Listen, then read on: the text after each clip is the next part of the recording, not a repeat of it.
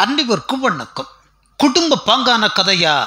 கூப்பிடுங்கள் மியா கலிஃபாவை என உலக சினிமாவை துரத்தி கொண்டிருக்கும் நபர்தான் நடிகை மியா கலிஃபா. கட்டிடம் காளையர்கள் முதல் கட்டையில் போக போகும் கிழவர்கள் வரைக்கும் தன் கையே தனக்கு உதவி என்னும் நம்பிக்கை எழுச்சியை ஊட்டி வருபவர்.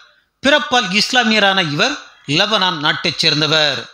தற்போது அமெரிக்காவில் இருந்து கொண்டு சேவை செய்து வருகிறார்.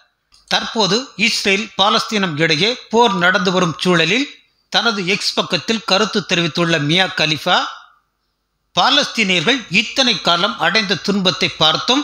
நீங்கள் பாலஸ்தீன ஆதரவாக இருக்கவில்லை என்றால் நீங்கள் இந்த விவகாரத்தில் தவறான இடத்தில் நிற்கிறீர்கள் என்ற அர்த்தம். வரலாறு உங்களுக்கு பாடத்தை சொல்லித்தரும். பாலஸ்தீனத்தில் உள்ள சுதந்திர போராட்ட வீரர்களிடம் யாராவது அவர்கள் படும் துயரத்தை பதிவு செய்ய சொல்ல முடியுமா என்ற கேள்வியை மிகவும் ஆழமாகவே எழுப்பியிருக்கிறார். இதில் பாலஸ்தீன பயங்கரவாதிகளை சுதந்திர போராட்ட தியாகிகள் என்று மியா கலிஃபா குறிப்பிட்டிருந்ததுதான் பல்வேறு சர்ச்சைகளை கிளப்பியுள்ளது. அது நமக்கு தேவையில்லாத விஷயம்.